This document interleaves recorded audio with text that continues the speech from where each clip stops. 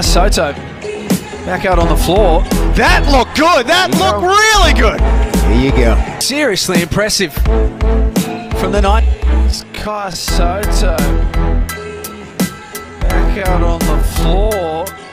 That look. Amount of changes to both of their playing rosters. As Sotto cleaning up, still can't finish, still going.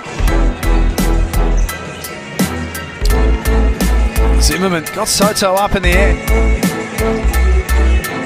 Now Sotto, our first real look in the low block and done. It's one o'clock in the afternoon.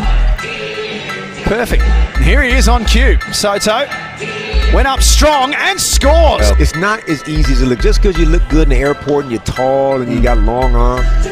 36ers will head home for game number two against Illawarra. Sotto still trying.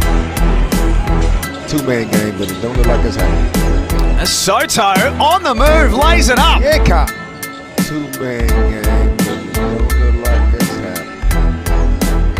Sotto on the move, lays it up. Yeah, Kyle.